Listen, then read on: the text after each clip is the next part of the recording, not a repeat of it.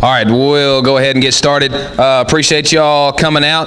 Guys, this is a really big deal, right, for Kizer and for our school, too. Um, I was looking it up at lunch today. About 7% of high school athletes sign a scholarship to go play in college in all sports. See, that's that's not very many. All right, so so Kizer, he's been blessed with with some uh, some great talent and skills, uh, but he's also got a great work ethic too. Um, one of the hardest workers in the weight room that, that I've had, and and uh, he's he's been working and training for this for a long time. So I'm very very proud of Kizer.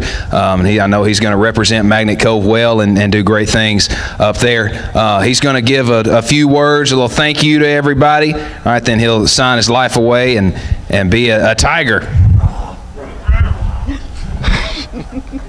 I just want to thank y'all, thank my parents, thank the coaches, thank my teammates.